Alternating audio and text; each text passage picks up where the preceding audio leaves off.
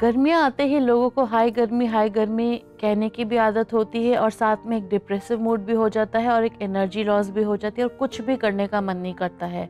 तो अपनी डाइट में ऐसी चीज़ें खाइए जिससे आपके शरीर में हीट ना प्रोड्यूस हो, ठंडक प्रोड्यूस हो। जैसे नारियल पानी है जिसका असर ठंडा होता है। लस्सी है, मट्ठा है, आपका मैंगो पन्ना है और स्पेशली आपके ठंडे फ्रूट्स हैं। खरबूजा हो गया, तरबूज हो गया है आपका। अब आलू बुखार आएगा, लीची आएगी, चेरीज़ आएँगी, वो लीजिए और परांठे फ्राइड चीज़ें अवॉइड कीजिए क्योंकि हम जितनी ये चीज़ें लेंगे उतना शरीर में हमारे हीट प्रोड्यूस होगी। तो जिस खाने का तासीर ठंडा है, वो लीजिए ताकि आपके शरीर में ठंडक प्रोड्यूस हो और आप चुस्ती फील कीजिए, आप में बॉडी में एनर्जी हो और आपका हमेशा हैप्पी मूड रहे।